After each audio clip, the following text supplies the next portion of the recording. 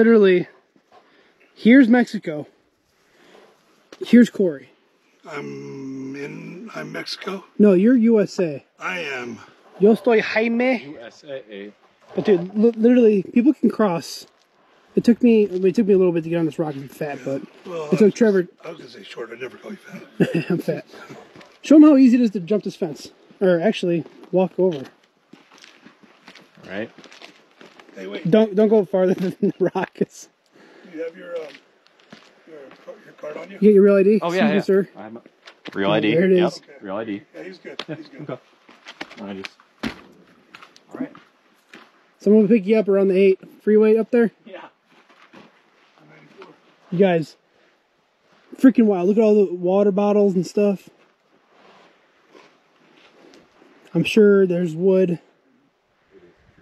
Wow. I bet you the guy who drank that monster made it. Uh, meth in there. Oh,